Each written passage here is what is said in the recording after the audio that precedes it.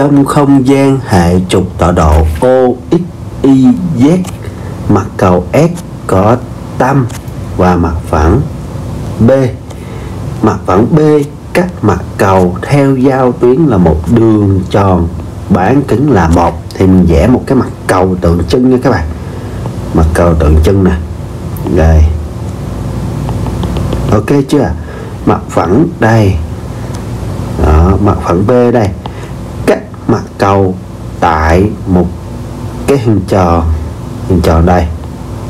Được chưa?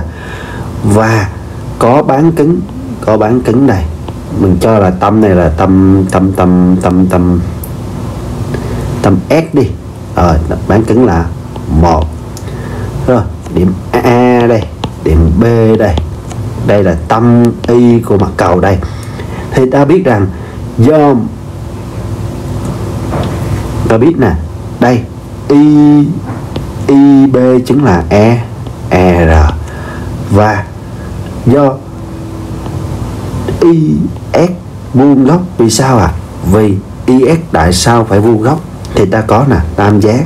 A, b y cân tại y bởi vì y a bằng y b bằng e, r. Cân mà s F là trung điểm, là trung điểm của của ab vậy suy ra, y là đường đường cao đường cao.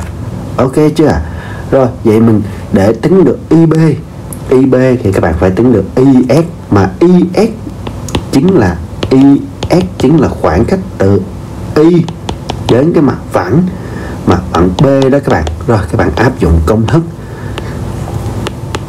và vậy mình y thế tọa độ điểm y vào vào cái mặt phẳng.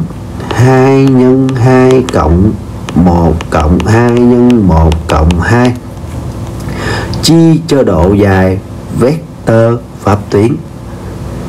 Căn 2 bình cộng 1 bình cộng 2 bình bằng, các bạn tính ra bao nhiêu à? Đây 4 nè. 8 9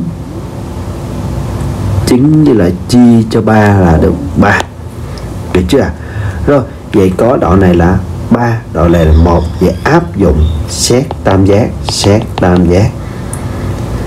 Y sb vuông tại vuông tại s thì ta áp dụng định lý Pythagore ib bình, bằng. Y s bình, cộng. Sb bình. Để suy ra mình tính được y b, bình sẽ bằng 3 bình cộng 1 bình bằng 10 vậy suy ra ib bằng càng 10 vậy mình đã có bán kính, có tâm chưa hả? Vậy các bạn viết được phương chừng mặt cầu có tâm y là hai hai mấy à? Hai, một một một một. Và bán kính r bằng căn 10 vậy ta viết viết trừ tâm 2 bình cộng y trừ tâm, bình cộng z trừ 1 bình bằng